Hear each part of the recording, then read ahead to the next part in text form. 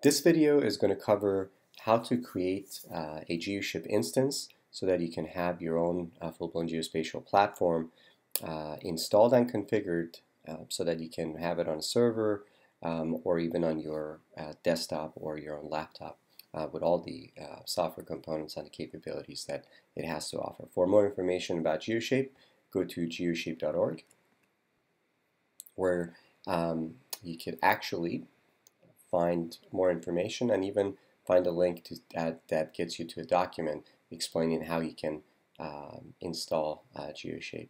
We have I have the document open here, and um, there's a set of uh, there's a set of uh, software that you have to install before you can install GeoShape. The idea is that um, a GeoShape it's going to be installed in a virtual machine. That that way it doesn't have to install any components on your actual um, desktop server or laptop um, itself. Instead, it makes a virtual machine and installs everything in there. Um, it, it, actually uses a specific uh, operating system, which is a which is Red Hat uh, or CentOS. This one stands up a CentOS operating system, but it's um, easily uh, can be stood up on Red Hat as well. So these are the list of components or the softwares you have to uh, you have to install. First, first of all, a VirtualBox uh, VirtualBox allows you to have virtual machines uh, on your computer. Uh, Vagrant uh, allows you to easily stand up uh, and uh, allow it allow you to create a virtual machine and have it configured. Git it's a version control system that um, the so that, which you can be used to access and clone all the repositories for GeoShape that can start the installation uh, process. Um, and uh, of course Google Chrome, which is the recommended browser. some of the functionality, different parts in GeoShape might not function as you may expect um, on older browser or even in some cases different browsers. So let's go ahead and um, the steps here, after you install this software, there are a set of uh, commands that you want to run for the command line or you're from the shell. Um, I will have the shell open here and we can very simply uh, create, can simply copy these commands. This is a git command, the first one, and if you've already installed git, which you, uh, you should have at this point, it's going to just clone the repository, the Vagrant repository. Uh, that's going to help us instantiate or create the uh, virtual machine. Next, we're actually going to go into the folder. I'm literally copying from the document.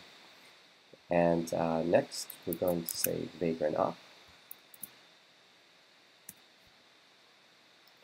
This process is going to take a little bit. What's going on right now, the progress bar you were just seeing a second, or the progress indicator, uh, what's actually uh, creating a, a virtual machine essentially and the steps that you see going on now, it's bringing it up, configuring it, and then it's going to proceed to uh, install GeoShape and configure all the dependencies um, that, uh, that need to be taken care of.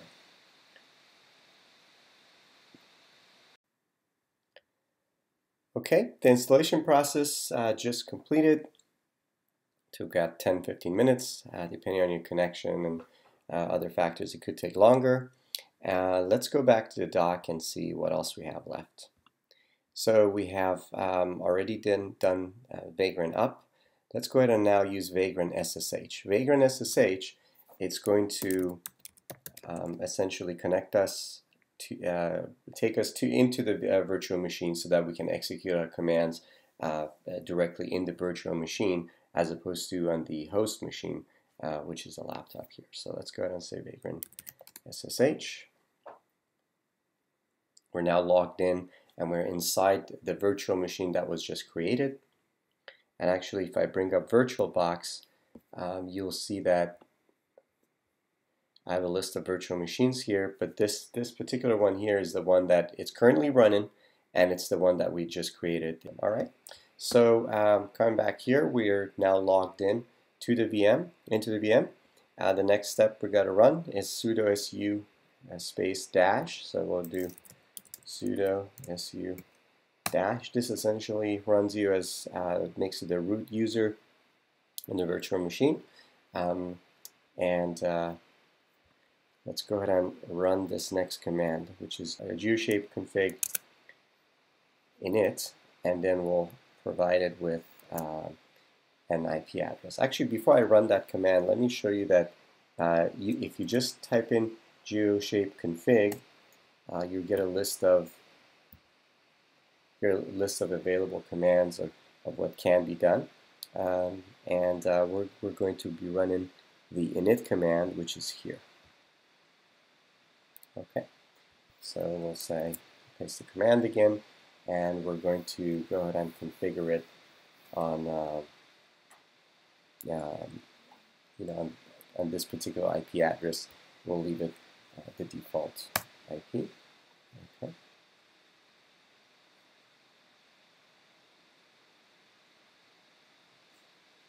We'll wait for this to complete. Yeah, at this point, uh, we're prompted to uh, enter a password for the administrator.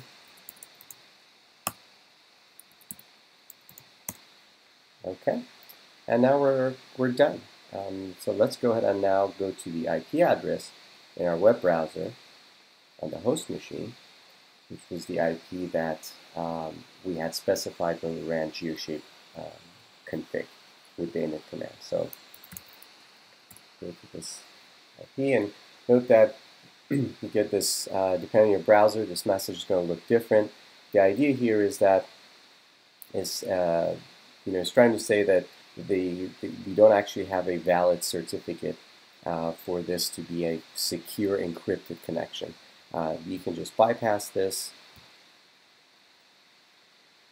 If you're standing up GeoShape and you want to put it on your server, you need to make sure you get a uh, certificate. Uh, that way all your connections are encrypted and uh, nobody can see any username passwords uh, being transmitted over the, with the request. So let's go ahead and log in. Now I'm going to use the same username and password here. Uh, that the username is admin by default, and then password is what we typed in uh, during the last step of the configuration of GeoShape. So we're going to log in. And uh, GeoShape already comes with a, a, user, which is the admin user we just logged in as. Uh, and also it has a single layer already configured.